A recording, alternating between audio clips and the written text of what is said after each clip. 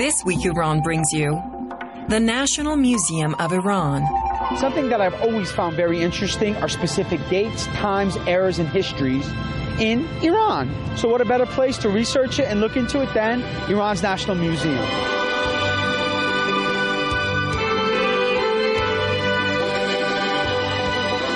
صحبت می‌کنیم از ایران باستان منظورمون کهنترین زمانی هست که انسان در فلات ایران ساکن شده و آثاری رو از خودش به جای گذاشته Iran's National Museum contains many rare and priceless objects. It has human and animal teeth dating back to several thousands of years ago. موزه ملی ایران یکی از مهمترین موزه های کشورمون هست موزه مادره که در خصوص نگهداری آثار باستانی و هویت ملی بیشترین تعداد آثار باستانی رو در مجموعه خودش نگهداری می‌کنه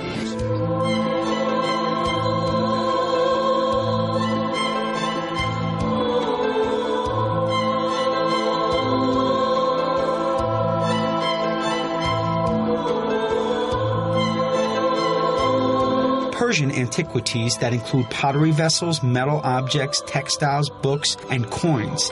Also, an amazing ceramic figure which dates back to 9,000 years ago.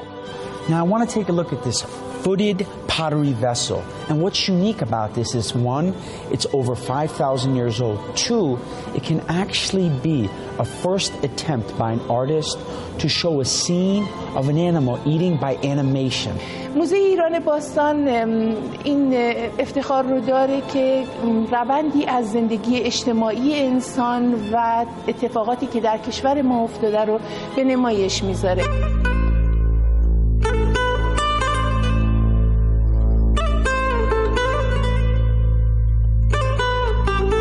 Now, the first section of the museum that we'll look at is all types of different vessels, from stone to pottery, even clay. Some of them are footed, some of them have spouts, some of them actually date back to 7,000 years ago. That's really amazing. This is jaw dropping. I want you to actually picture yourself 2,500 years ago.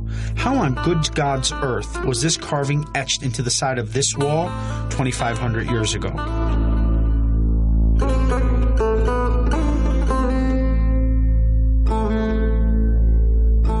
What I really like so far is that we see many different types of beautiful displays.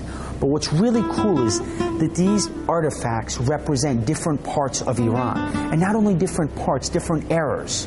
Some date back to 7,000 years ago, some five. It's really amazing. The museum is filled with so many different artifacts ranging from necklaces to ceramic containers, bracelets, and amazing carvings. Now, this section of the museum is dedicated to objects made of bronze. Bronze is an alloy of tin and copper mixed, one of the oldest alloys known to mankind. And if you look here, you see different types of weapons, from knives to arrowheads to skiths, needles, even shields. How awesome was that when battle was raging on, these were the things used.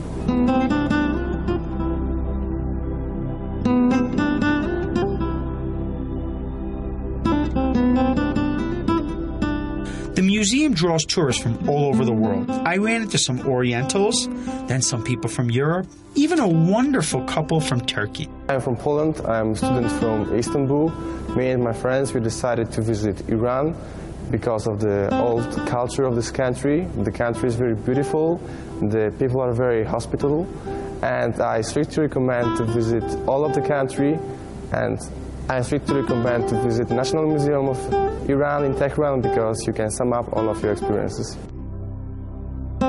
These two statues basically speak for themselves. The first is a bronze statue of a soldier with severed limbs, and the second is a stone, headless statue of King Dariush. You know, this guy's called the Salt Man, and that's a very interesting name. And the reason he gets this name, the Salt Man, is because his body was discovered in 1993 by miners working in a salt mine. Yes, his body was discovered in a salt mine. After research was done, it was even more of a fascinating discovery that 1700 years ago, from a very hard blow on his head, he was killed in a salt mine. Henceforth, the name, the Salt Man.